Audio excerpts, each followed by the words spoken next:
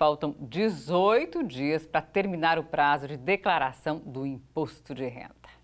Rendimento tributável, não tributável, gastos, declaração dos dependentes e ó, uma informação errada, que dor de cabeça. A Valdineia desistiu de tentar sozinha fazer a declaração do imposto de renda. São muitas perguntas, fico em dúvidas, né?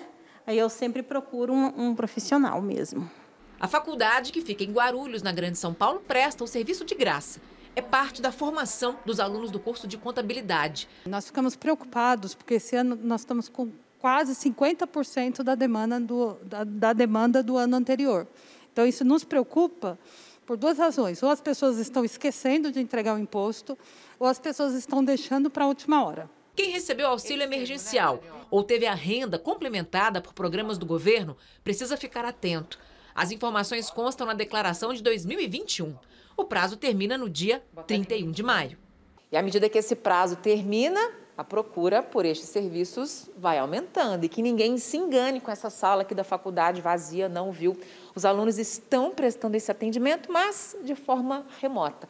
E essa nova maneira de atuar permite também a ampliação da ajuda. Maurício coordena uma equipe de 60 funcionários em um escritório de contabilidade em São Paulo. Este ano, a declaração virou doação. Eles atendem qualquer profissional da área da saúde sem cobrar pelo serviço pedem, em troca, uma cesta básica ou ajuda para uma instituição social. O trabalho aumentou 50% por lá.